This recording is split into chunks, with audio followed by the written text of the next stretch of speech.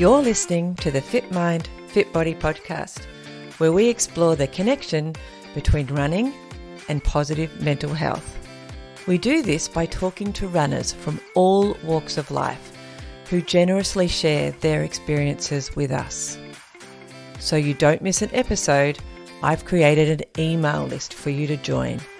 Check the show notes for more details. Without further ado, I am your host, Michelle Frost. Let's get moving.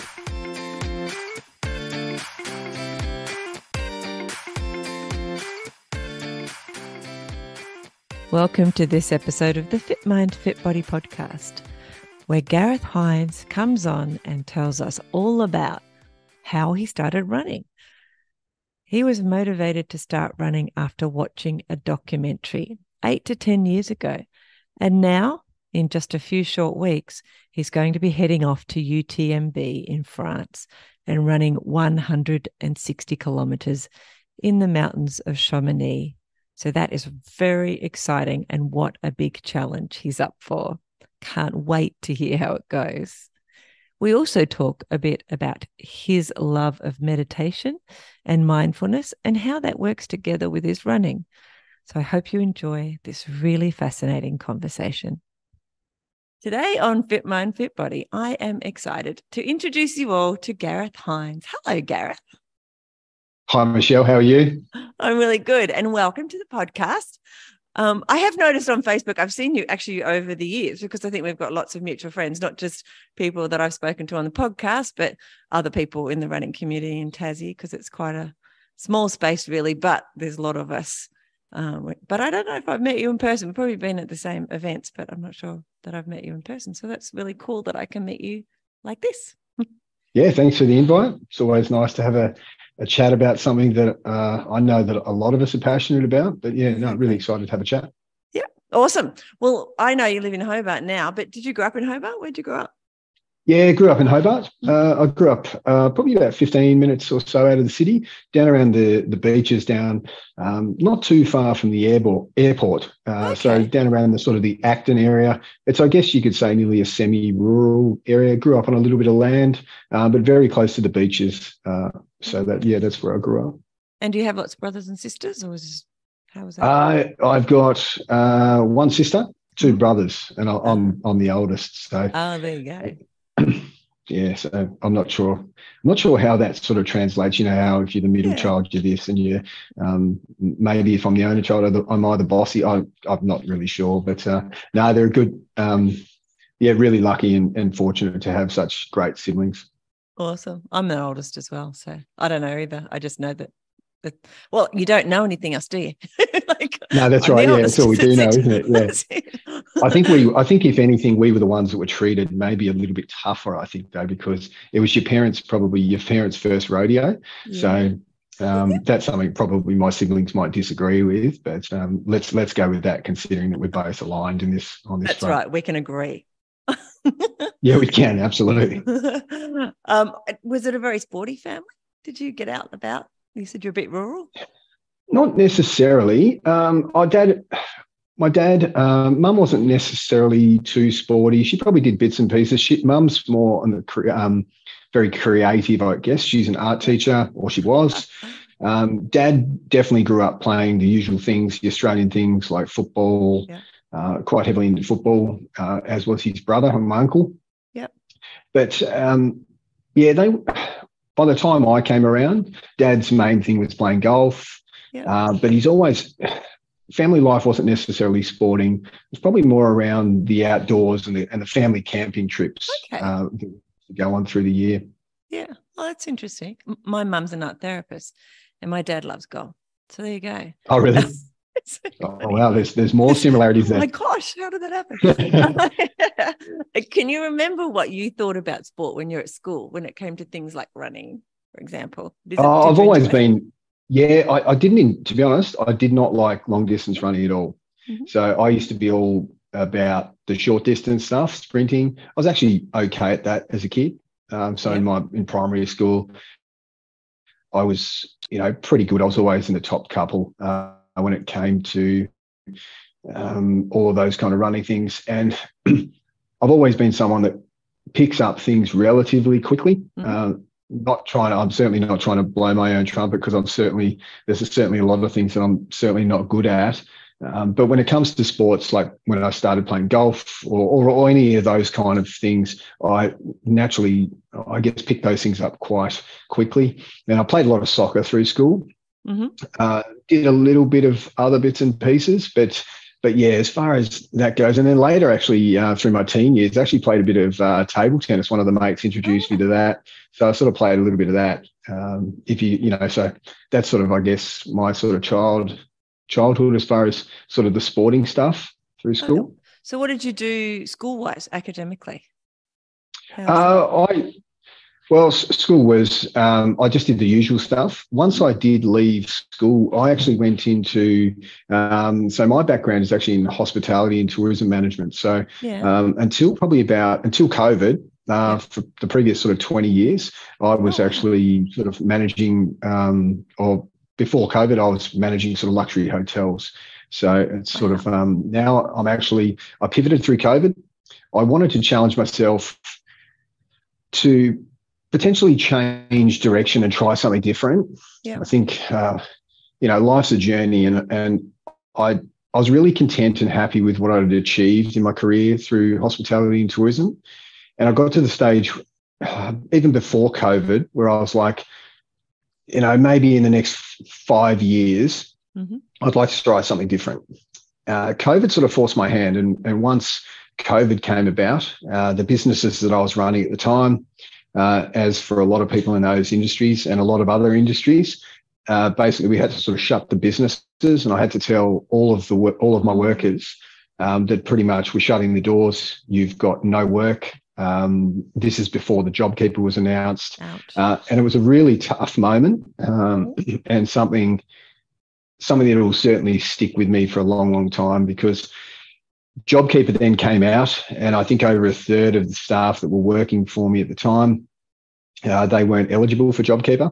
Mm. And so that next six months, not only was I dealing with, you know, the, the absolute turmoil of, I guess, nearly society in a lot of ways, uh, but I also found that I, I had to, I wouldn't say counsel, but a lot of people were coming to me, you know, my workers, you know, in that kind of sense. And it was a pretty confronting place to be in because I felt so powerless uh, Mm. in, in not being able to help.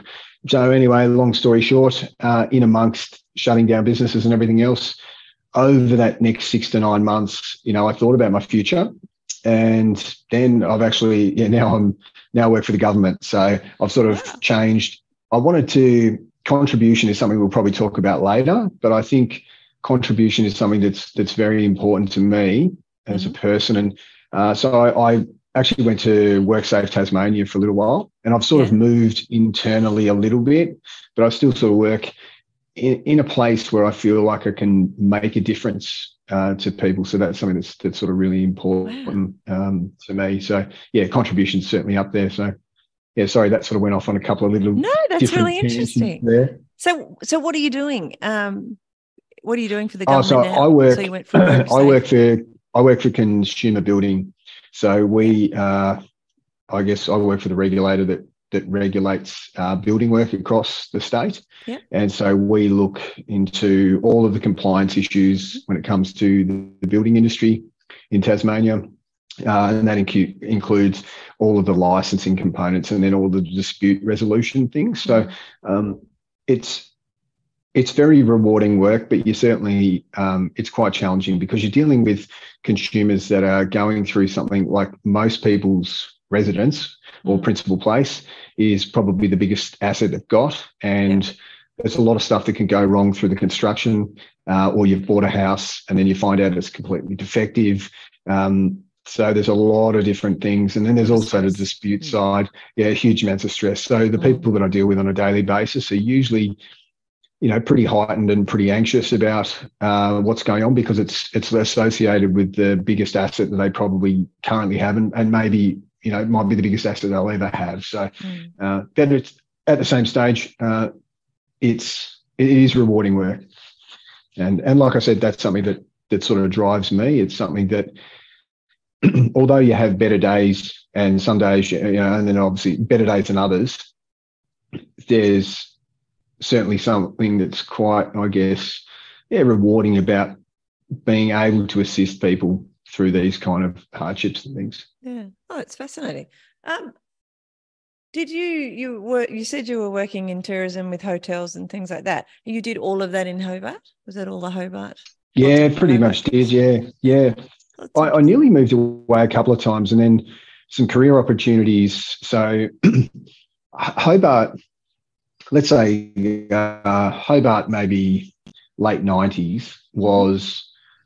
Yeah, for lack of a better term, it was sort of well, well, Tasmania in general. I think back in the 90s, potentially, uh, I will look, there was certainly a perception of what Tasmania was. And I think that's obviously changed, you know, dramatically over the last sort of couple of decades um, for a lot of reasons. But then there, you could just see in the industry I was working in that there were going to be opportunities coming. And so I was very tempted to move away to explore career opportunities. But then I was fortunate enough especially with the opening of the Henry Jones Art Hotel mm-hmm. in what was that 2004.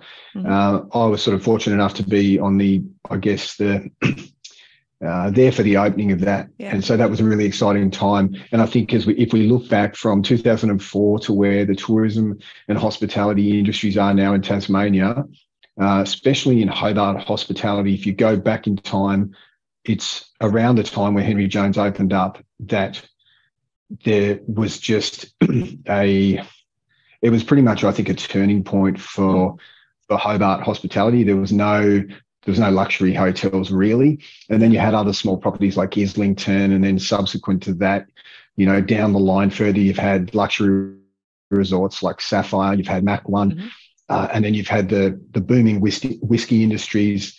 Uh, you've had so many other things. You've had obviously Mona in that time yeah, as well. Gin and ciders and all sorts of gin, cider, um, beers, everything else. And then obviously what we'd probably here to talk about in a sense as well. Mm. People really started to take note of what we have down here, which is, you know, you know the wilderness mm, and those kind of experiences that you can come and do down here in Tasmania um, is something like yeah there's some beautiful places around the country that we live in that we're so fortunate to live in but not just because I live down here in Tasmania but there are parts of Tasmania that I just think nowhere else in the country can you know yes sometimes they might be remote but I think it's very hard to beat certain parts of Tasmania yeah, it's amazing. My um, I mean, a plug for my siblings. Two of my siblings and their partners have just opened up the um, the four. It used to be called the Forum. Now it's called Easy Tiger. It in St Helens, which is a yep. cinema in St Helens. Um, and they they've got a micro brewer going in there as well, and some uh, food venues and things. But in part, it's because of the mountain biking side. So that's absolutely sort of the very small connection to what you were saying with experience yeah. and and um, tourism in Tasmania as well. I also worked for the tourism department briefly with um online in the online digital space a number of yep. years ago too. So um, just after the time that you were, were saying, so I can definitely attest to that change in yeah. that Tasmanian landscape. Um, and how exciting is it for places such as uh, there's Derby, Maydena, like the West Coast with Mount Owen, you know, mountain Amazing. biking. There's tracks around Zeehan now. There's You know, you've got, oh, I think there's more trails up around Penguin. The, you know, mountain That's biking incredible. alone is, and, and, obviously St Helens as well. Yeah. So we, um, it's a really exciting time. This state, uh, federal government gave us funding to provide lots of workshops for digital literacy for local businesses when uh, when the um, the internet what's the, what's that called when they rolled out um, Oh, NBN or NBN, that, that thing I should oh, yeah, know, okay. but it was so long ago. As I said, it's in the afternoon. I'm terrible with what I'm saying with words. Um, anyway, we rolled up these workshops and we did some in Derby in 2013, I think it was 12, 13, and it was dead. Derby was really yeah. like we we did get sort of you know maybe maybe 10 businesses came along but they were all suffering because you know blah blah blah. So we were there to teach them how to use the internet because it was coming to their town um, the nbn and then we went away and we went overseas for 18 months. And when we came back the mountain bikes had hit derby like by two, end of 2015 2016 and we were like well, this is not the same town that we were here. It was just Yeah. amazing that change. Like you wouldn't, if you hadn't seen it with your own eyes and in such a quick time, how things can change. Yeah, tourism. yeah, it's uh, it's it's quite amazing, and, and I think even this year they've what had the the two um, the two world tour, whether I'm world tour enduro events, Yeah. one at Derby, one at Derby, and one at Maydena, and then that was alongside the kunanyi Mountain Run. So I mean, over the over the course of that two or three weeks, to have those kind of sort of events down Calibre. here in Mm. Hobart and Tasmania on the calendar is just is just so exciting for Hmm. that sort of whether you say it's adventure tourism or, or, or sporting events that are certainly attracting people uh, from not only a local but n- national and then also international communities, which Mm. is really really exciting. Yeah, I love it. All right. Um, how did you start running? So we've we've got a bit of your work background and where you grew up. Oh yeah, so I didn't like running at school. Uh, so I started running as a, just for a little bit of fitness. So my uh, once I left school, because I did work in hospitality and tourism, my hours were a little bit all over the show. And the other thing that I developed um, from pretty young age was a love for the water, and that was through dad. Uh, when I went on those camping trips, I think I might have touched on earlier as a kid. I was exposed to um, exposed to the water. So dad was a very keen diver. Uh, he would, you know, dive for crays, abalone, and we would go out in the boat as a kid. So I got exposed to fishing and being out in the boat in some unbelievably amazing and beautiful places uh, whilst going camping as, Mhm. as a family when we were younger. Uh, so my love um, initially when I was growing up in my teen years was actually surfing. And that translated because of my, it was something I couldn't commit to team sports or anything else anymore. Yeah. And so I naturally gravitated towards something that I, you know, started doing as sort of, I guess, just prior to being a teenager, started surfing. And so for my teens, 20s, and 30s, and I still love it now, but I just don't do it as much as running now. Uh, that was the thing. And where trail running sort of fits into that as well is that you, you can do trail, you can trail run when you can as well. So if you do have, Yeah. if you are a shift worker, um, then it sort of can fit within your in, in your within your schedule depending on what your work hours are. Mhm. And so it wasn't really until my sort of late twenties, I would say, that um, my partner at the time she was pretty active and she ran for just fitness. Um, I used to get a lot of my fitness mainly from wanting to surf every waking moment whenever I could. Uh, so I'd be, I was someone that would drop everything to go surfing if the waves were good. Yeah. But then slowly but surely, she sort of rubbed off on me. And then we started doing the odd little run around um, where we were sort of living at the time, which actually did have some trails and beach and other things Yeah. pretty close by. But um, I'd never ran more than 10 Ks until probably about maybe, I don't know, about eight to 10 years ago when I Yeah. sort of started um, thinking about uh, running. And the reason I got into ultra running is I was in my 30s, early 30s, and I was like, wow, you're nearly halfway to 70. and I thought, okay, I want to do something this year that I never thought I'd do. As the back then, the surfer Yeah. that only ran occasionally Mhm. up to a maximum of 10 Ks. And I needed a new pair of running shoes. So I was actually looking on YouTube at some shoe reviews from guys like the Ginger Runner and a few of the other YouTubers that were around sort of just reviewing shoes. Mhm. And then it was underneath one of the videos in the in one of the shoe review videos, that there was a recommended documentary on someone that ran an ultra marathon. So after I'd watched the shoe review, I clicked on that. And in amongst my search for, to do something that I never thought I'd do, I watched that documentary and I thought, that's it. That's what I'm going to do. I'm going to run an ultra marathon. So that was a, that was a road marathon, the documentary, or, or was it, or was it No, on a, that was um, for a an- trail? that was for that was for a trail. So Awesome. the road running side didn't really appeal to me. So I thought, Yeah. oh well, let's let's start the ball rolling and let's find something to enter and have a go. So And that was about ten years ago. about oh maybe it's about eight. I, I forget now. I'm getting Yeah. I'm getting older. You Sure, are. Yeah, it's terrible. So yeah, I was, let, let's say I was around around a decade ago, give or take a couple of years. Whatever. Doesn't really matter. So what did you do with that sudden inspiration? Because I know like three decades ago, I watched a Hawaiian Ironman and thought, I really want to do that. And I hadn't really stopped running since. Didn't do an Ironman, but um, it was like, yeah. well, off I went. Um, it was quite inspiring. Yeah, that, so, what, um, how did, what did you do? It sort of exposed me to, initially, I did. Um, I, I did that sort of training block before the event, and so I did the UT, I did UTA, mm-hmm. uh, and just you know I did that training mainly solo, and once I think I got up over that sort of 15k mark in the training runs, I was like, oh okay. Initially, it sort of is hard, but then I guess eventually it probably becomes, I guess, your new normal, if you like. Yeah. Yeah. Uh, and then after the event, obviously, I was exposed to more of the community side of trail running, mm-hmm. and it yeah, I was actually just really, really inspired going to an event like that. And it sort of started the ball rolling. And I thought, well, okay, I've done one. Uh, and I did a 50 to start with. Yeah. And then there was, I just knew, knowing myself, that I wouldn't stop until I've at least done 100.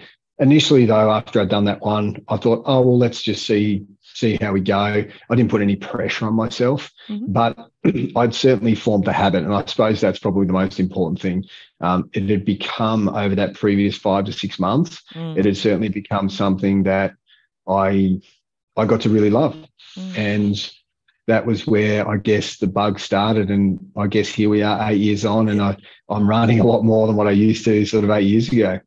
So, you, did you start to identify yourself as a runner at that point? Do you think? or was it prior? Oh, it's it's been an interesting relationship because initially the initially all of my my long term friends who aren't runners mm-hmm. uh, that are surfers, they actually were they weren't very complimentary when it came to my running because what it was started to do. I would say in my friend circle back then when we were surfing, I was one of probably the instigators of going, right, the surf's going to be good on this day. Mm. We're going here. We're going up the east coast. We're going down south. Whatever. Yeah. We're going to Bruny Island. We're and then it sort of took me away from being that instigator that kept that peer pressure mm. running. And so eventually they didn't like. Um, they didn't. They didn't really love the fact that I was stopping surfing for running. And yeah, so I've certainly I've certainly copped a bit of um, a bit of banter from the boys, which I'm more than happy to take because I sometimes dish it out a little bit um, uh-huh. uh, as well. So I guess if you're going to dish it out, you've got to be able to take it. And there was one race that I did in particular, I forget when it was, and this is probably a cup, maybe two to three years in. and then they said to me, they said, Oh, oh, so you got this running thing coming up, like this ultra marathon. I said, Yeah, it's when is it? Oh, it's in, oh, I can't remember. Let's say it's just February yeah. So they said, Oh, after you've got back, we want to have dinner with you. And the only thing you've got to do is bring your running gear with you. And I'm like, What? I'm like, What do you mean? Yeah, because we want you to come and have dinner with you. And then we're going to burn your running gear because you're going to start surfing again, type of thing. So, um, yeah, that's that's initially what happened when it came to me and uh, starting to run ultra marathons. Just a little bit of resistance from the boys. So. Oh. But obviously, you were resilient. Yeah, yeah. And look, you know, yes, that's probably the banter. I know that they are, um, they certainly are really supportive as well, though.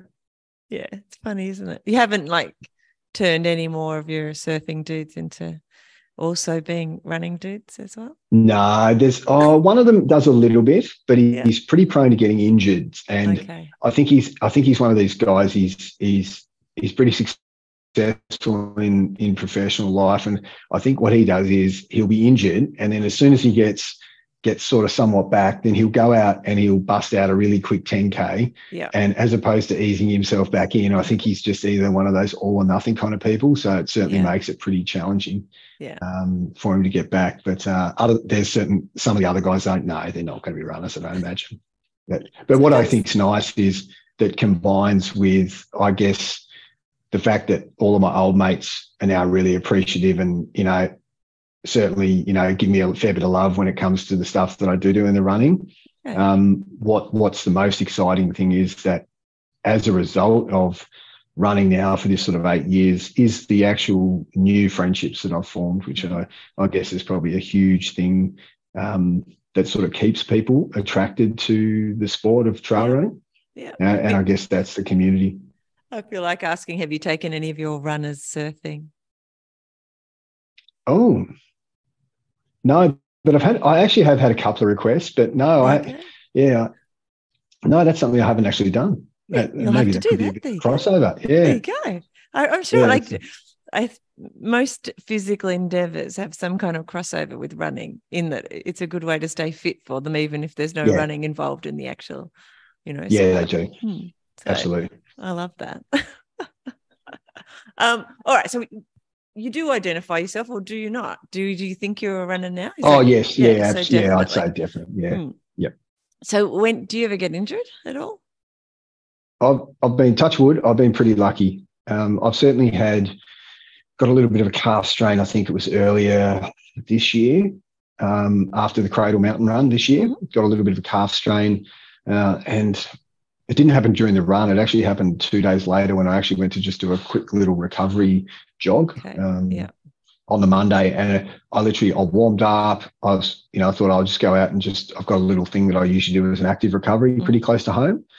And literally within three or four steps, I was like, oh, hang on, that doesn't feel like just muscle tightness. So um, had to sort of nurse that for a few weeks. Yeah. Um, but primarily been pretty lucky when it comes to injuries, which is um, Good. which is good. I'm not sure why, but um, let's hope it continues.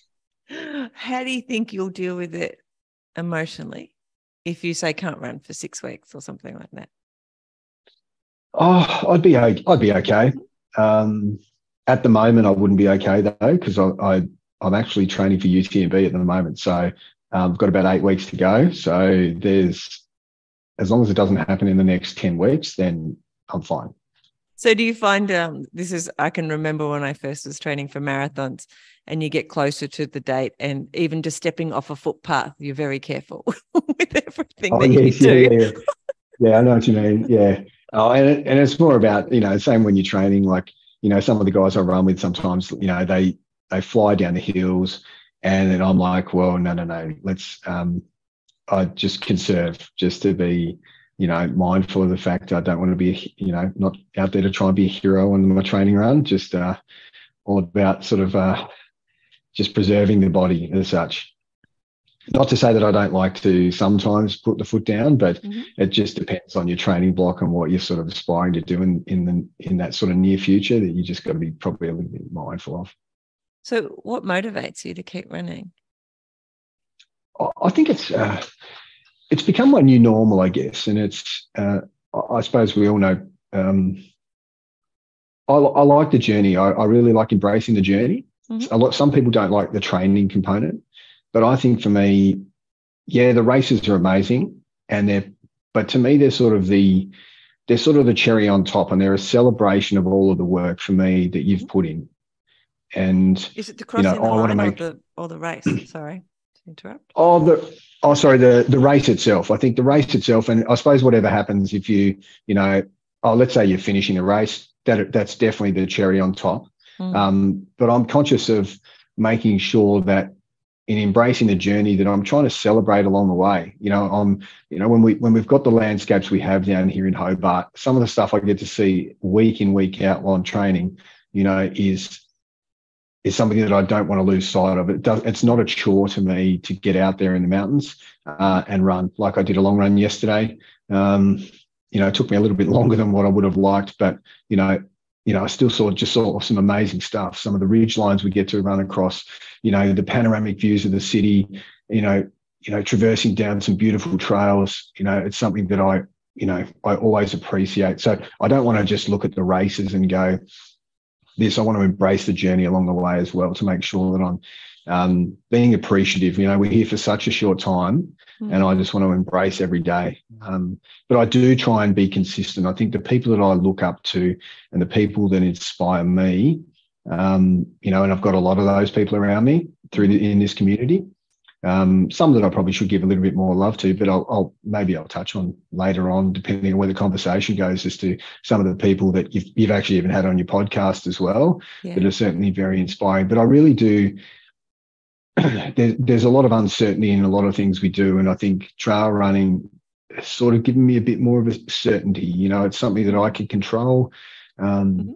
and it is. It's such a good outlet. as I'm sure most people that do this um, mm-hmm. would agree. You know, it is quite meditative in, you know, in in what it is, and I just love getting out into nature, mm-hmm. uh, and I love, you know, and especially whilst I really enjoy running by myself, you know, being out there in nature with others is something that's just a really really special thing. And similar to, get or, you know, my younger years, surfing with good friends, I think being out in the wilderness, um, whether it is in the water or in the trails, in the mountains, um, with other like-minded people is just, um, yeah, some of the most fond memories um, over the last sort of eight years. And that's something that I, when I look back on that sliding door moment of me watching that YouTube review and then yeah. deciding to enter a race, it's one of those moments that I know I'll look back on when maybe my body isn't as capable as it is now. I know it's something that I'll look back on, you know, with as one of those moments where I'm just so glad that, you know, I decided to just do something a little bit different.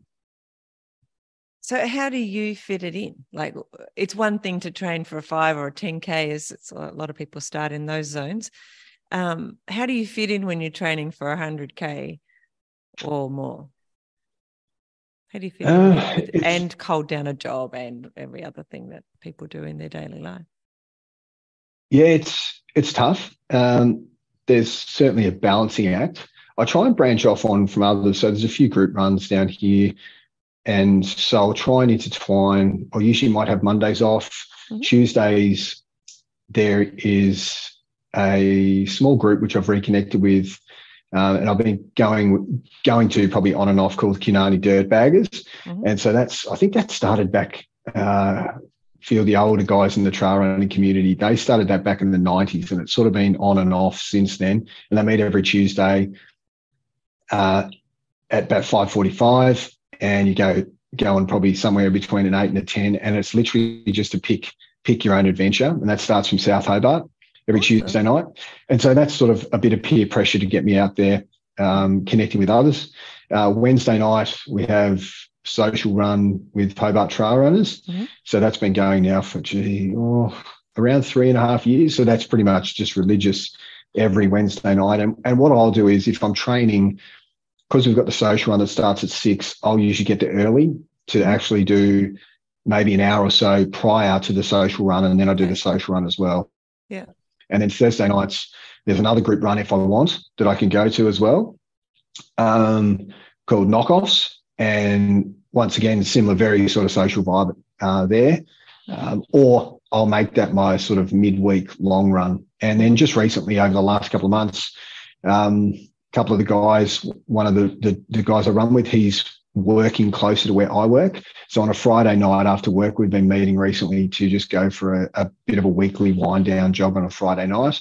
And then obviously I'll try and squeeze in my long runs on, over the weekend as well. So it certainly takes some dedication, but I think it's about, I think might have touched on it before. It's it's sort of become my normal. So I've yeah, there are certain days that it's harder to get out. Mm but I really just, like I say, just embrace the journey. Um, but I'm certainly not someone that looks at spreadsheets or tries to watch my watch every. Yeah. I try and be pretty organic when it comes to training as well, because yeah. I don't want it to feel like a job. I've already got a job. You know, this is something. This is a passion, and this is. I don't want it to become too work-like, if that makes sense. It does. Do you run much? It mostly sounds in the afternoon because you're meeting those groups yeah. of people and things mostly afternoon yeah. sort of thing? Yeah, I'm more an afternoon runner. Sometimes on the weekends I'll run early if I've got to do long runs. I'll mm-hmm. but on the week I'm certainly not someone that gets up at 5 a.m. to go and run. So I'd certainly I actually don't mind doing it at the end of the day. That's yeah, it's, it's something it's it's something to you know, yes, sometimes it's tough. Uh, when you get home and the weather then turns a bit and then you've got to go out and run for 90 minutes, two hours, or whatever it yeah. might be. Um, but it, I, I, guess it's all part and parcel of it, really. It's um, yeah, it's yeah. There was certain, there was one. I think there was one day last week. I think there was a bit of a tough one that uh, I forget which one it was now, but I remember getting home going. yeah, I was like, oh my goodness, I've got to go out, and and it, it was not nice. It was, um, but they're the days. they're the days when you know you're probably even more proud when you get back home yeah. and you can have a beer or yeah you know, pick your poison or a smoothie or whatever you might have, you know, chocolate milk, whatever floats your boat after a run. I think they're the days where you go, you know, you know, you feel you never feel bad after a run. That's for I sure. deserve it. Yeah, yeah. That's right. Just a ticking it off. So, what do you think? What motivates you in that? If um, do you need to have a run to be training for, like a race coming up, or even if you didn't have a race coming up, or have you always had a race that you've got? You know, whether it's months down the track or whatever that you're focused on in order to help motivate you get out the door, or do you think? And I think this changes over our life as well. It's not like whatever you do now is is how it will be in the future or even how it was in the past but how do you feel like it is now for you at the moment I like to have a base, um, but it doesn't necessarily mean that I need to have a race coming up. I think it's it's something that's very it's very ingrained in me to want to go running now and want to explore. And so, but what I always want to maintain, especially whilst my body is able, is that some of the guys that we that I run with, for more the wilderness adventure side of side of things, um, outside of training is usually uh, there's a few guys that and and girls that will get together and we'll, we'll go and do some of the more remote stuff. And so I always want to make sure that I've got a base fitness so that I'm Mhm. can can get on board with that. But motivations, yeah, sometimes of course, if you've got a race coming up, as I do now with UTMB, you know that's that's obviously a huge motivation because obviously I've you know got to travel internationally to go and do this race. So um, there's a lot of energy that uh, that is going into that at the moment, especially Yeah. because it's probably about eight weeks out now. Yeah. And you know the body's feeling good, but after that, I'm actually nearly oh, never, who knows what will happen afterwards. But I think I'm actually going to make sure that I have a little bit of downtime after that. Not to say that I won't still run, but I think as far as the pressure to go and train for something, I might just have a little bit of downtime after that. So I think it's important. I mean, but mind you, some people they can just, you know, and, and once again, you know, some people they can just race and race and race and race. But yeah, and, and I certainly, you know, uh, applaud people that can do that those kind of things. But for me, might only be two, three times a year if if we're talking about maybe 100k races. Yeah. So last year I did Kosciuszko in December. I did Cradle Mountain Run in January, February. February? yeah in February, and then I haven't raced. Oh no, and then I did Narawntapu.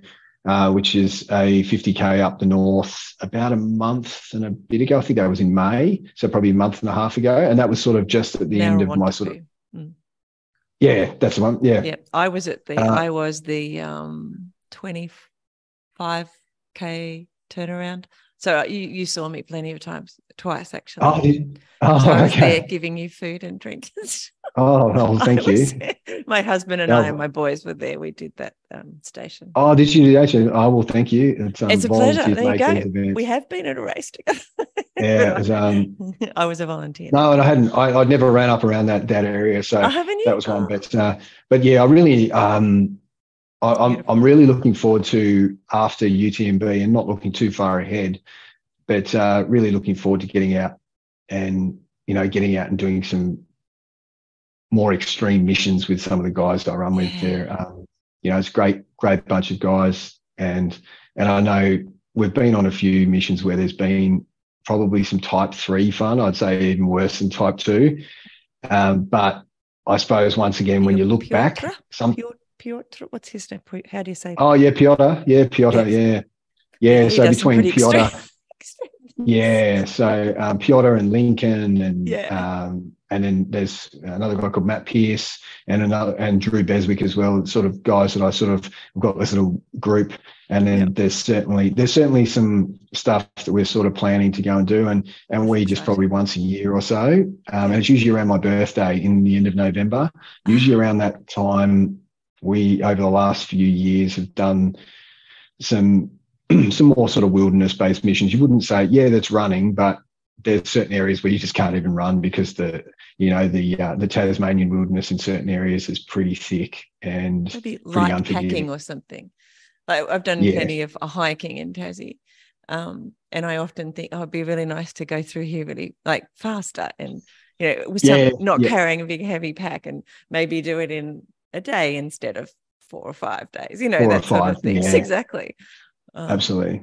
So I think, yeah, that's really exciting. And the things that you see out there, they're just so, um, yeah, like you were trying to describe before when you're out on the trails and, and you take in the vistas and when you're out on, you know, out on um, Mount kunanyi, it's just incredible. And people don't Yeah. and whether you do the same run every day or not what you see is different. So even though I, that's what i love about trails as well is that you can irrelevant of you know if you even if you do the same trail every day it'll be Yeah. different every day because of the weather and the the way nature changes and and all that kind of stuff. It's just um incredible and so good for your soul. Um what would you say is your favorite run? Do you have like favorite or type of run if you don't want to pick a particular? Ooh. Is, is this uh, more in a a you can is this in a race sense or is this in a, or just to be you any- you can answer it any way you like um, doesn't matter Well, I've done I've done Cradle Mountain Run for the last three years, and that's actually a really nice run down along down the overland track. Yeah. Um, and that's that's kind of it's a smaller event. It's really great. What Lincoln's done with kunanyi Mountain Run, although I haven't run it, um, you know that event is certainly coming along in leaps and bounds. And you know, as Lincoln and I live very close together, like you know, within a you know a couple of hundred meters of each other. oh wow So I remember back before when it was even just the concept stage of the kunanyi Mountain Run, you know, got some really great memories of going and doing the course recce. So we would go and Ah, run the certain the back sections to see what, what they were like. And this is through the COVID lockdowns as well. Uh, from memory, I think there was a couple of yeah in the COVID Yeah. sort of time. So there was all this uncertainty, and you know, and I'll look back fondly on those of doing some early morning morning missions with Lincoln. Um, but I think anything where I'm out there, you know, with like-minded people sometimes, and it maybe not one in particular might be might be a tough one. I mean, with UTMB coming up, I haven't experienced it yet, but that's certainly a huge bucket list for me, bucket list race. Mm, So I'm really, really looking forward to the challenge because I've never done a miler before. So, um, and that's obviously going to be a tough miler to start with. So, uh, but once again, really, really looking forward to, I guess, the opportunity to get there and just to be around that vibe at the start line and everything else. But um, I guess, you know, yeah, UTMB is maybe whether you say it's that, you know, that that iconic thing, but there's something that can certainly be said about getting out into the wilderness with your mates as well down here in Hobart yeah or around Tassie. Just loving it how long do you think you'll run for in your life Oh, that's a good question. I I'd like to think that it's going to be a while yet. Mhm. There might be something that might I would still like to get back to surfing a little bit. I think there's certainly a lot of um, making up for lost time in a sense uh, when it comes to surfing. But I'd like to think that it's something that's uh, I never want to lose that sort of childlike quality of of wanting to adventure and to be curious and to mm-hmm. um, and there is just so much more. Although I've been fortunate enough to go and see a lot, uh, well, a fair bit of what Tasmania has to offer mm-hmm. around, especially some of the Moulding Day bushwalks and other things. There's still so, so much down here and around the world. So, you know, I'm already thinking a little bit past UTMB, where I might go to next to do a, a run. You know, do I want to go back to New Zealand? There's a couple there that I wouldn't mind doing. There's one in New Caledonia. There's more in Europe, although Europe's a long way to go and a pretty expensive place to go for Yeah. a trail run. Um, but the passion's still alive. And I think, although I'm not getting younger, um, I'd like to think I'm probably not far off being, I'm, I'm, I'm pretty fit at the moment, you know, for an old bloke. So it's, yeah, it's something, um, and I think what will keep me there is definitely the community aspects of it. Because I think we touched on it before. I'm so inspired by some of the people that are around me and the people that I've met that I'm, I'm fortunate enough to feel call, you know, really good friends now. Mhm. And through my journey with trail running and everything else, that's probably the thing outside of going out into the wilderness and exploring and things. I think the connections that I've and friendships that I've made with other people is the thing that, you know, I know will be there for many years. And I've made a lot of people, a lot of friends that I know are going to be lifelong friends Mhm. uh, when it comes to the guys that I go adventuring with, when it comes to the people I connect with multiple times a week through some of the social runs. You know, it's just, um, I think that's definitely the thing that's going to, uh, continue to keep me in this mm. community. Yeah, a lot of people say, yeah, they started running for whatever purpose they start running, but why they stay running is because of the people that they meet and the community that, yeah. that they surround themselves with as a result. Um, for you, is it important how fast you run, or is it more the adventure, or yeah, how does that sit with you? no, not. Oh, I don't want it to become like a job. Mm-hmm. Uh, or, or, sometimes I'll have sort of maybe a time in my head, if, especially if it's something that I've ran before, then maybe I might have a goal time. But I do try and I do try and be kind to myself as well uh, when it comes to those kind of things. And I don't want it to be, you know, I'm loosely competitive when it comes to trail running, but mm-hmm. it's not for sheep stations. It's about being out there and challenging yourself, you know, yeah. and I certainly try not to compete necessarily with others. It's about being out there and challenging yourself. And I think trail running, what it, for me it exemplifies is I think when you're out there and you're exploring, when you're out there and you're running, I think you're being a good version of yourself. And, and that is regardless of any distance that you might cover. So if you're going to go out there and you are going to do a five kilometer trail run or a five kilometer road run, whatever it is, I think you're out there being a good version of yourselves. And, and a couple of things I try and adopt. So one of my things is I take a photo every run. And okay. that's something I challenge myself to do. Yeah. So um, like I don't post much on social media at all, mm. really, but if you looked on my Strava, you would nearly 99% of the time you'll see a photo. And the reason is it's about me trying to be present and seeing the beauty in at least something when I'm out running every time. So I could have run that trail a thousand times, but I will look for something, whether it's a flower in bloom in spring. Like you were saying, I think that you can run the same trails, but you know, you want to be present, you want to be aware of your surroundings, you want to you know, wow, oh, look, there's flowers in bloom, or wow, the autumn leaves, or, you know, there's so much to just look look at whilst we're out in these beautiful places. And I know that I'm trying to be a champion for Tasmania here, but we are very, very fortunate, whether it's on kunanyi, whether it's in the Cradle Valley, whether it's over on the West Coast, whether it's down on the Southwest Coast, the East Coast, you know, or around the trails that are just behind my, my house there is just so much beauty in the world, and so that's one of my things when I'm out running is taking a photo um, every run um, because I forget why I started doing that. Races. Uh, yeah, I'll usually at least yeah I'll usually take yep. There's there'll always awesome. be at least one photo. Yep. That's awesome. I love it.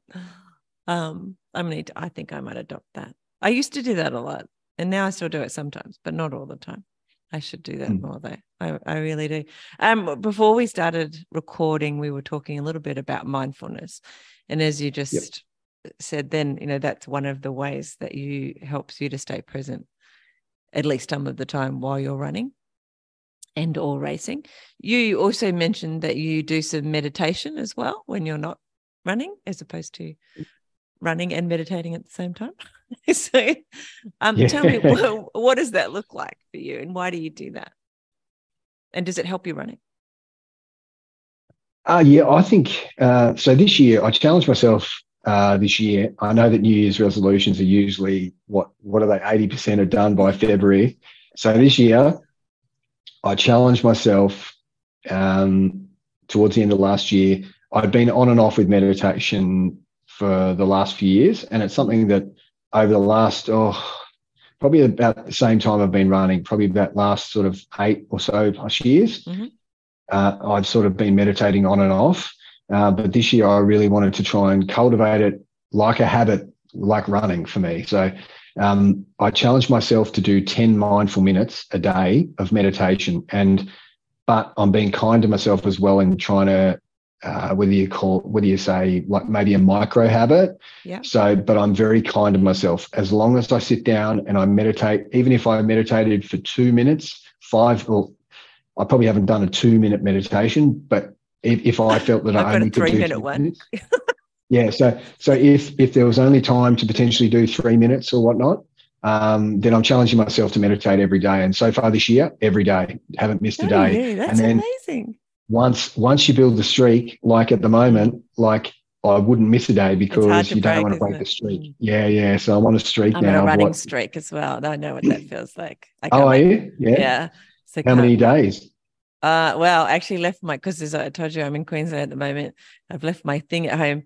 Um, at, when I left home, I was at um, like 200 and something days. So wow. by like I think it's October, I'll be a year, so sometime in October. Yeah. So there you go. You running at least two kilometers a day. So you know what's going to be really interesting is it's whether you're going to be able to have a day off after a year or whether no, you're going to probably not no because my personality yeah. won't let me it'll make me keep yeah that's right because I was only going to do it to Christmas time and look at me oh, okay because I got it to Christmas oh, time I was like oh well there goes 90 days or whatever it was yeah. and um here I am still doing it no I think I think with the meditation it's not trying to put pressure on myself too much but I know yeah that's why for me 2Ks isn't like and now i'm training for you know to do gone nuts next year. So it's not like i'm only doing oh, 2ks but um yeah, yeah oh, that's a great run. 2ks is easy to do on those days when i don't have to go for a run when it's a but i think you look at the i think about like talking about myself the if i think about gareth in the next five years and i hmm. think the gareth that meditates here, there, and everywhere versus someone that can develop a habit where, let's say I don't do it every day, but let's say I do it like 90% of the time. Yeah. I know that those two people in five years will be, whether they're going to be hugely different, that's subjective, but but I know that it's it is just such like I know um, when I have meditated and then stopped meditating um, over the over the years. Yeah you really can notice a difference. And and I think um, it's just positive. such. What's what is the? Oh, absolutely. If you had to put in words, what's it giving you? Uh, I think it gives you the, that ability to step in between stimulus and response. And I think, mm-hmm. um, oh, it's in trying to be present. Look, I, am going to be the first one to say that you know are we all somewhat addicted to these devices that we have in our pockets?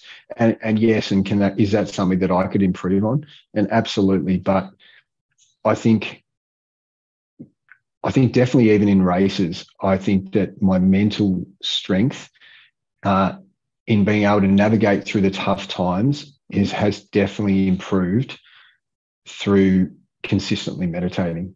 Wow. um, and and look i have nothing to back that up except for lived um, experience. Um, but I suppose my lived experience and my perception being my reality mm. is that that I feel um, and I guess being empathetic to yourself, being equanimous, I guess that's probably the word, you know, trying not to react too much either way to either the positive or the negatives and being a bit more equanimous in everyday life. Mm. Um, and just learning um, to try and be present where you can. Um, mm. Certainly, you know, and I'm certainly no guru when it comes to meditation, but um, it's something that I do hope that you know, alongside of running, it's something that it's it's one of the habits I think that um, is something that I hope hopefully can continue for for a long time consistently.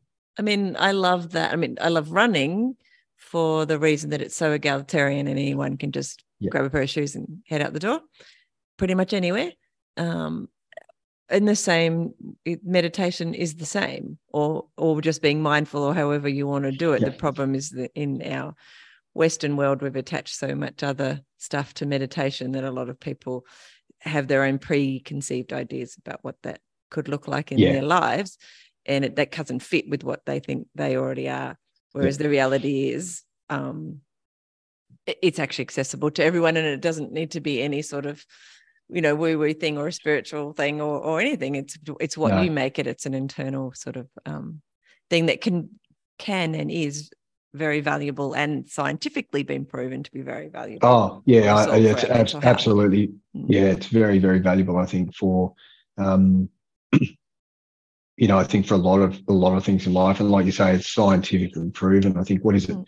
I think it's um, in around 12 weeks of consistent meditation can actually, if like if you've got a scan of your brain, I think it actually will actually, you know, start to change, um, change what actually comes up on the scans. So it's, it's certainly, it's something in my younger years, I would have said, what? Sitting down with nothing but your thoughts. I'm like, yeah. what? Um, but yeah, maybe I'm a little bit older and wiser now, perhaps, than what I was. I think it's that getting bored. You're quite a bit younger than me, but, and so we didn't have a lot of television kids, and we didn't have. We certainly never. Oh yes, yeah. But um, um, let alone I mean, my kids have grown up with phones and the internet and and all of that sort of stuff. And as you said before, there's not a lot of downtime in our. Yeah. And they don't know how to be bored, and that's which is probably a you know part of of um, meditation and and being mindful is actually being able to be with your own thoughts Definitely. Yeah. And I think running, we were touched on that before we started recording, but running is a path to that. To yeah, I agree. Yeah. With your own thoughts, because often we don't always run with something in our ears. Uh, that's a good question. Do you run with stuff in your ears very often, or mostly uh, running with people anyway, by the sound of it? Yes and no. Oh, no, I do actually do quite a lot of running by myself. I'd yeah. probably be at least 50 50 okay. as far as, you know, with others. Um, but yesterday, I did a long run yesterday. So I was out there for quite a while mm-hmm. yesterday. And um, there was nothing for probably the first two thirds. And then the last third, I actually was listening to, um, I, I do listen to music occasionally, mm-hmm. uh, but quite a few podcasts sometimes. So I, I, actually really enjoy digesting podcasts while I'm out running. Um, and I'll usually only have one earbud in though. So, yeah. um, so I do like to actually have a sense of awareness yeah. around me, not just be completely shut off. Music's different. If I'm listening to music, I'll have both buds in, but I do um, when I'm listening to audio and stuff. Um, when it comes to conductive ones, so they sit up here. Oh yeah, so, yeah. Yeah, I used to only listen with one always until I got these at Christmas time and they're really good because oh, okay. your ear is out and so you can hear things. Oh, they um, the AfterShokz? Are they? Yeah, exactly. They're called AfterShokz. Yeah, okay. Um, well, there's yep. other brands as well, but they sit on your the bone, and so your ear can still pick up other noises around you, whether it's birds or cars. yeah, wonders of modern technology. Yeah, yeah, it's, it's, actually really cool. Um, but I think um, when it comes to, oh, sorry to um, interrupt, when it comes to right. the meditative qualities of running, I think we spoke about it just before we started that yeah. I'm conscious that it doesn't act like a mask because I, I, suppose everyone's fighting a battle that that others may not be aware of, you know, as as the old saying goes. Mm-hmm. Um, but I'm conscious that I think meditation itself is certainly a little bit different than running. Um, but I try and use them as complementary things mm. um, because I don't want running to be potentially a mask, you know, and sometimes I think we all know someone that, you know, goes to the gym seven days a week. And, you know, if they didn't go to the gym for one day, they'd probably have a mental breakdown type of thing. So yeah. I'm very conscious that, um, yeah, I try and create a bit of uh, balance to make sure that running isn't the only form of sort of mental wellness that I try and do for myself. Yeah. Yeah, I love that. Um, it's, there are a lot of people who think about mindfulness and meditation and can't necessarily work out how that is connected to a physical endeavor like running until they start running pretty regularly and then occasionally yeah. again we touched on it before we started recording occasionally you can get into a kind of meditative um, especially oh, certainly oh, being very mindful of where you are and, and your environment and your body as well yeah, um, yeah. while you're running and as again, I've talked about on the podcast plenty of times, but they have studied it now and they've shown that what's going on in your brain is exactly the same as yep. whether you're sitting down meditating um, or not in those circumstances. Yes. Uh, yep. I guess it's when you reach a flow or, or flow state or whatever. What Definitely. I would love is that more runners were able to tap into that when they wanted to consciously rather than just tapping, like it just happening because, oh, it was a great run today because everything worked or whatever. Yep. Instead, it's like I've had a crap week or, you know, things aren't going well in my life. I need some, um, a bit of mental health moments or whatever. Yeah. They can go for a run and it doesn't just become an added stress that run because they're training for something or whatever. Um, but they can tap into that right there and then. It can be a bit of like, as I said to you before, my mum's an art therapist, can be their own self therapy to a degree. I think one of the paths to that, though, just as an adjunct to what you said before, is that if you are already practicing mindfulness and meditation in some way, whether it's a daily streak like yours, then you're more likely to be able to use your running deliberately on purpose when yes. you need it for that. Yeah, and that's well. actually that's actually a really I think that's a really good way to put it. That um, yeah, that's a yeah I hadn't I haven't heard that phrase like that before. That's actually um, I'm gonna mm. I'm going to just um, bookmark that. That's that's that. really good way to think about it. Yeah. it's, all, it's, all, about the practice, whether we're practicing running for the physical yeah. endeavor of running, and our body gets yep. used to all our muscles and ligaments and everything, get used to it, and we don't get injured, and da da da da. And running becomes easier because you're doing it consistently and you're practicing. It's the same with when we're practicing meditation, except that it's not just in those moments that we're being meditative or mindful those actually flow into the other things we're doing in our life. So, being a mum of lots of kids, I've spent lots of time in the supermarket and I've spoken on this podcast a number of times about standing in the shopping shopping queue waiting for things to go through and using that as a moment that I rather than getting my phone out of my pocket as you mentioned before with our devices it's very easy and very addictive to get the phone out check yes. my emails do my whatever's um, but instead uh, I will consciously start looking around me and taking in the environment that I'm in, or just being present in that moment and not, you know, if you're practicing mindfulness and meditation more often than I think it flows through all of your life, whether it's oh, running oh, definitely. or standing in a supermarket yeah. queue. And you can access yeah. it then more, more easily because of that practice, not because you're ever going to re- reach a destination of being super good at any of these things. Mm. because it's just no. I think journey. I think both. I think both running and meditation, uh, you know, go hand in hand in in making certain things about everyday life maybe a little bit easier. Mm. And it's uh, and it's certainly what I mean. Let's be honest. When when I talk to people that don't run, that are around me, like at work or mm-hmm. or in you know family and other things, and they they ask me about like you mentioned about motivations to do it, you know, and I maybe sometimes label it to certain people as my midlife crisis, and yeah. and maybe it is, maybe it isn't, but let's be honest, it's it's there's certainly worse things I could have done when it comes to being a mm-hmm. midlife mm-hmm. crisis. I think absolutely, uh, and uh, and isn't it amazing that you hear of so many stories as to how people you know found trail running and that, and that's one of the the things I love hearing is is people's stories not too dissimilar from me watching the YouTube video to get me into trail running potentially. But I love hearing, you know, in people in the community, and I love when people reach out to me as someone that hosts social runs. Now I get quite a lot of messages from people in the community, yeah. and they'll message me before they come to their first one because they're really apprehensive about, yeah, oh, do I need to come along to this social trail run? Do I need to be a gun runner type thing to come along? We're like, no, no, no. You can come like walk. You can come walk. People bring their dogs. People bring their kids you know uh, there's you know we something when it comes to, I guess, what I'd like to see in the future of trail running, definitely down here in Hobart and then maybe around the country, is just that overarching thing of inclusivity. You know, we want to, you know, check your egos at the door, whilst we want to really celebrate some of the amazing things that people do, some of these amazing runners that are, you know, like whether it's Kilian doing sub 20 at at uh, UTMB last year, or whether it's Courtney breaking Western States record by 50 minutes or whatever. Yeah.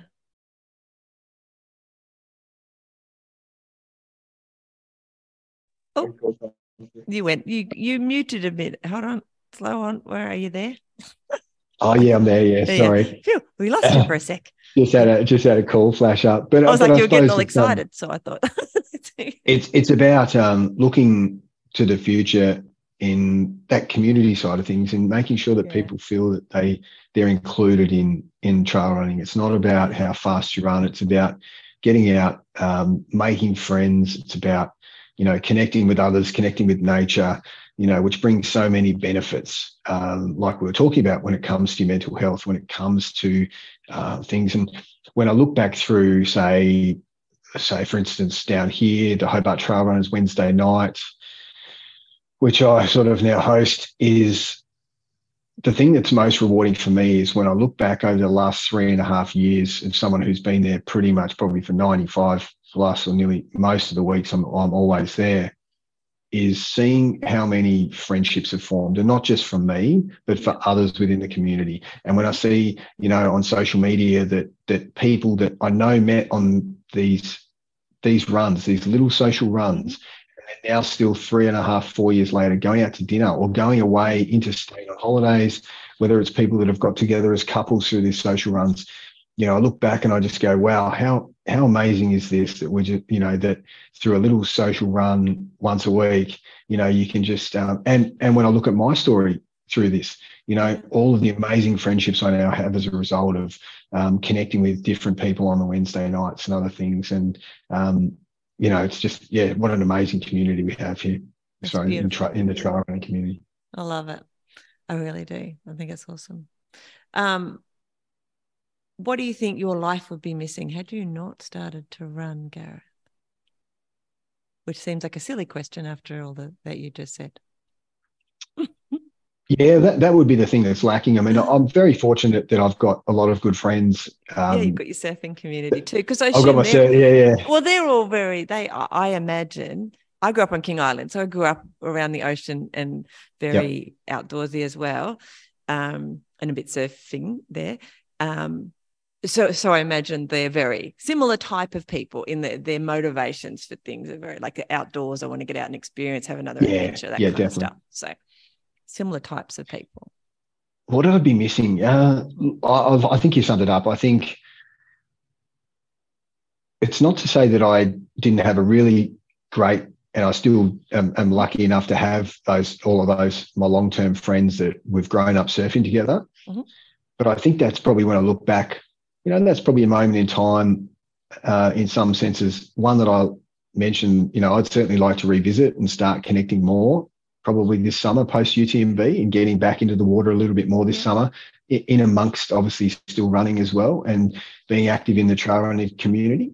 But there would be a lot missing. And, and I think I'll be forever grateful for that sliding door moment that mm. brought me to trail running because – and if we look back that eight to 10 years, when I think about what trail running probably was back then, especially probably in Australia and, you know, especially probably in Tasmania, and then I see where it's, it's, it is now, I think it's just such a, a really exciting time uh, for trail running in general. I think I'm not sure I don't have all the stats, but I know trail running's one of the sports that is certainly growing in leaps and bounds across the world. Mm-hmm. And I certainly imagine it's growing a lot in Australia. Uh, and people are really starting to embrace this. You know, did COVID accelerate that? I'm not sure, but mm. I know down here in Tassie, you know, I, you know, when you couldn't go and do some of the things you used to do, um, and you were allowed to go for, you know, get out into the wilderness, even down on my dog walking trail where I walked with my dog every single day.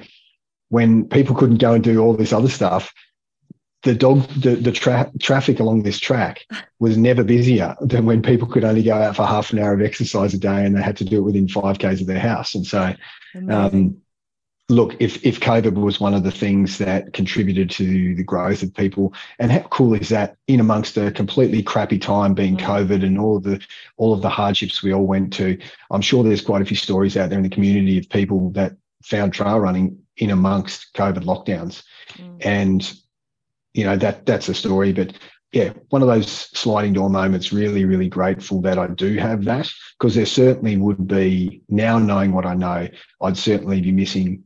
You know, a a huge part of what I would say now is is my everyday life, and that's you know getting out and about, connecting with people every week.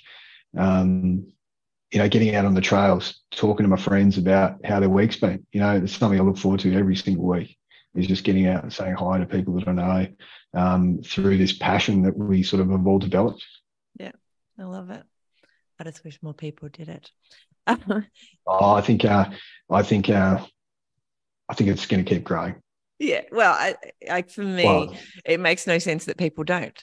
Like to me, you should yeah, it's be, a bit like that. Should, it should have started. Like, yeah, you, we all ran as kids, even if it was just to catch the ball or whatever while we're playing stuff like that. Yeah um, I don't know why people stop really. it's kind of it's funny, isn't it? Once you, you become a bit myopic about it all, but it, it is such um, a base, simple thing. Our bodies are made to do it. It's as simple as that.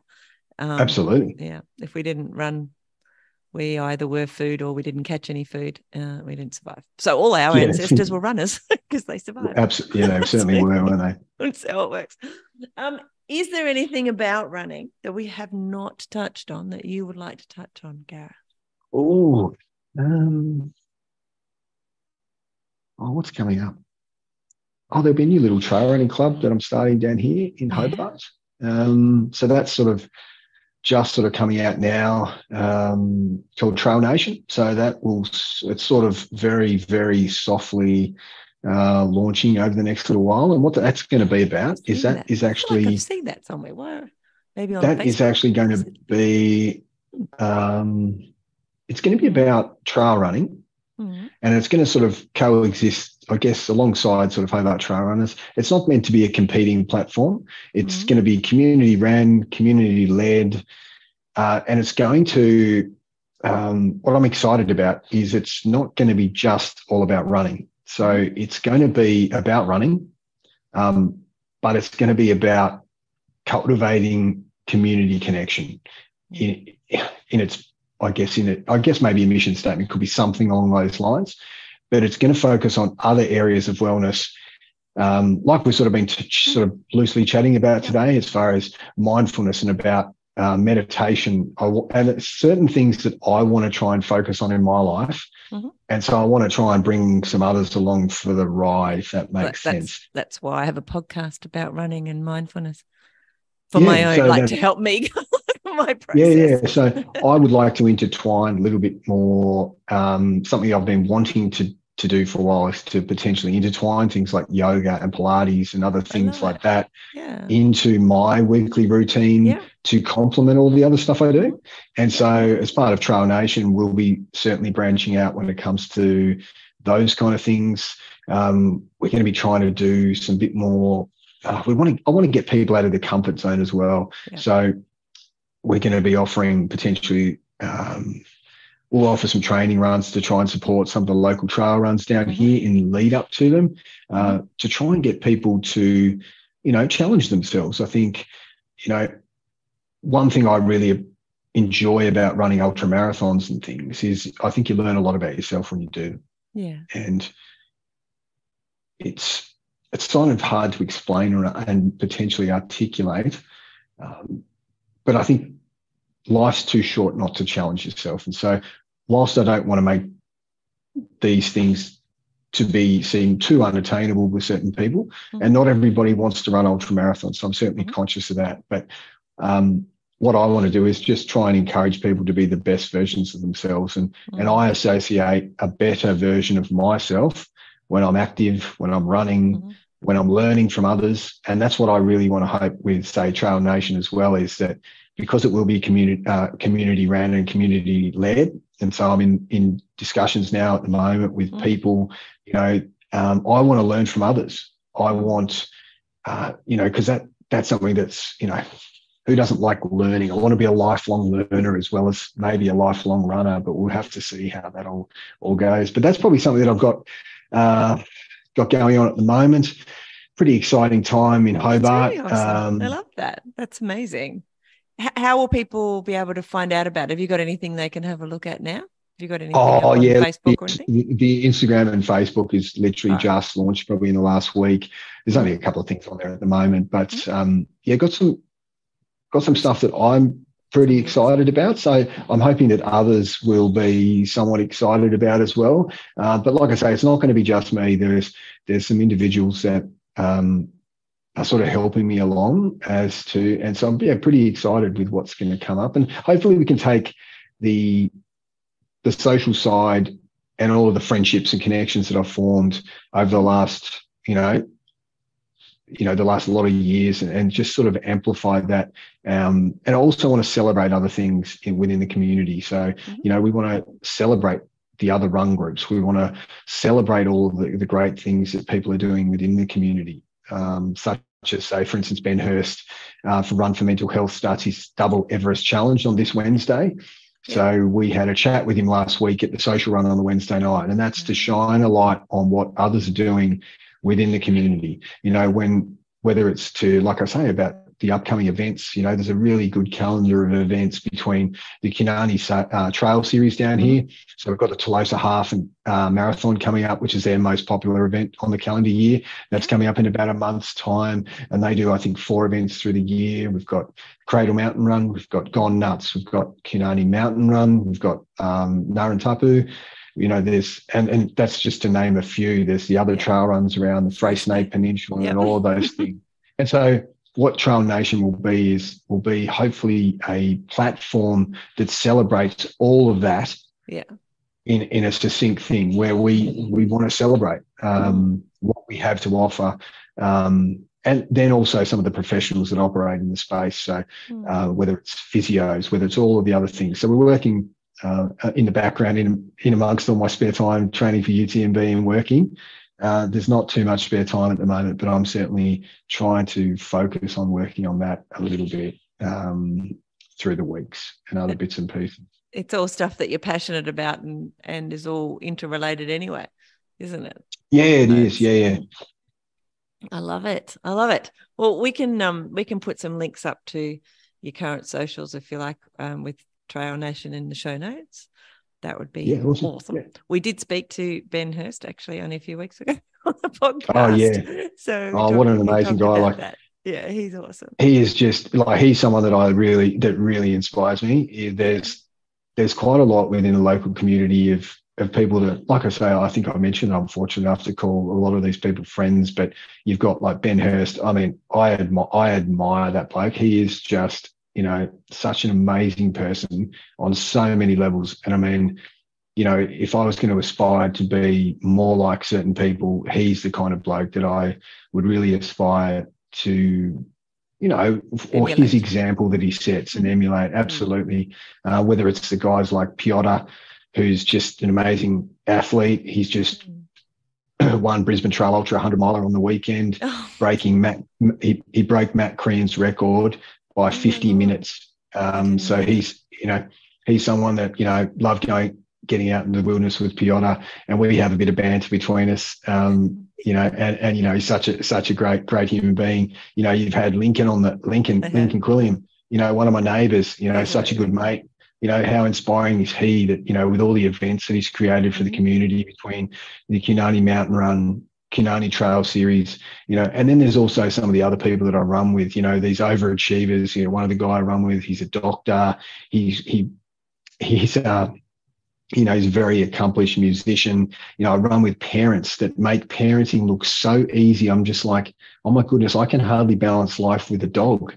And yet you just make balancing parenting two kids under you know, four and two, they just make it look effortless. And then, you know, and then of course you've had Jess Collins on as well. And Jess Collins, you know, um, you know, just an amazing person that is just so disciplined. And, and I certainly look to Jess and her consistency and dedication is something that mm. uh, is very inspiring as well.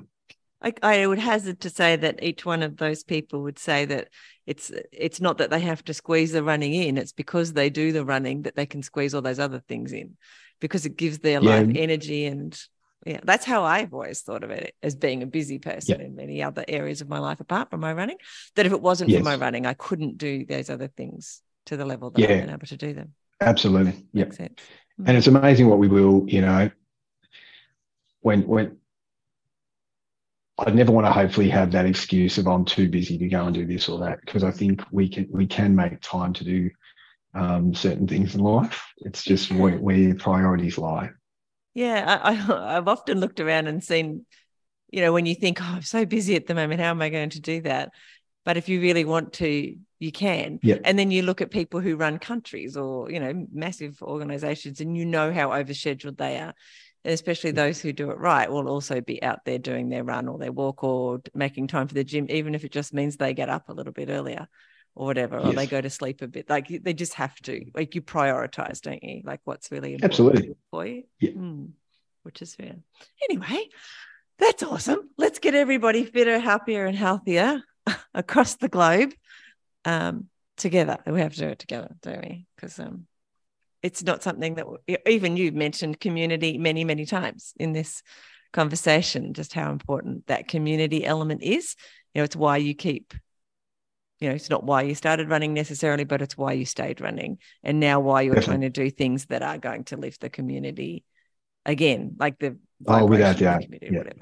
So, and I think, look, we, we've both talked about community, and I know a lot of other people do. And mm. you know, I, I think if it's if it's something that keeps me in it, um, then I imagine as you mentioned, it's something that's going to keep a lot of people in it. Mm. And uh, like I say, mm. it's just I think it's that's probably the most rewarding thing of uh, for myself is the, the amazing friends I've created through this mm. this pastime that is trail running, and you know to hopefully cultivate that and and assist others in potentially forming these connections as well into the future is is something that I certainly yeah look look forward to being part of. Awesome. Oh, Gareth. Well, I've already kept you a lot longer than I should because uh, that's naughty. Anyway, but and you had lots of amazing things to to talk about. Very inspiring. So I do appreciate you sharing your time. Before I let you go, though, can you give me some tips for beginner runners? So somebody who thinks they might like to start trail running, what would you suggest that they do? I would say, uh, I'd say consistency would be the key. Mm-hmm. So I think you're better off. I think you're better off going out for smaller runs more consistently as opposed to going out and trying to run once a week for a long distance. Mm. Uh, and I think you you should just try and build up uh, that base. I think once again, I think success leaves clues, and so I would be looking into a local trail running group. Um, if it's what if it's what you want to do, or you want to just go and have a try, find something like whether it is tra- um, Hobart Trail Runners, whether it will be something like Trail Nation, what, whatever it might be, find like-minded people and learn from them. You know, go out mm. um, because what you will is once you take that step, I think that will naturally motivate you more than if you're trying to do it uh, by yourself. Mm and yeah, consistency. I think yeah, which is what I've just said, but that would be my number one because I've seen a lot of people over the over the years where they'll go, they won't run for five days, and they'll go out and try and do two 10k runs, you know, over yeah. the weekend or something along those lines.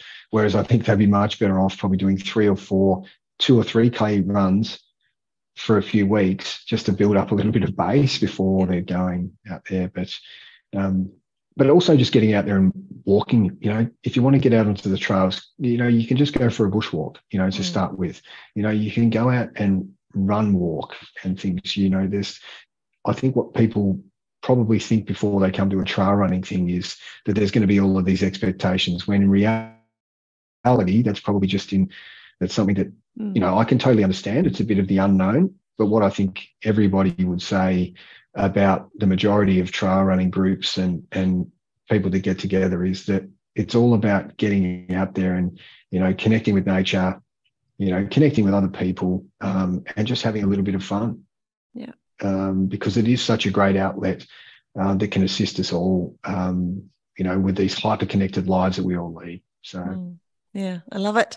Beautiful. I think even um, amy she was one of the first people on the podcast, and she, Amy Lamprecht, and she mentioned oh, yes, that yeah. that um, trail running is not really just running. Even the fastest runners no. in trail running walk and run. So it is fine to walk and run, like sort of giving people permission to do that, um, especially when they start. But the, the reality is, we all walk and run. And that's good. Mm. all right. Gareth, thank you. You have been an inspiration and you've provided so much stuff for me to follow up on and get excited about. Um, I do appreciate the time that you've shared with us. So thanks for being here. Oh, thanks, Michelle. It's been lovely to chat. Don't run away because I'll talk to you off the podcast as well. Okay. Thank you for listening to the Fit Mind, Fit Body podcast. I'd love to talk to you about your running journey send me a message on Facebook or on the website and let's do it. I also wanted to let you know that I've created an email list so you won't miss any podcast episodes. You'll find details in the show notes and on the Fit Mind, Fit Body website, along with a bunch of resources on mindful running. They'll help you to get and stay mentally and physically fit. And I'll see you there. Plus, I'll be back here in your podcast player a few times a week. Hit subscribe so you don't miss an episode. And before you go, I'd really appreciate it if you would leave a review. It'll help more people to find the podcast and get inspired to start running and ultimately to improve their life. See you soon.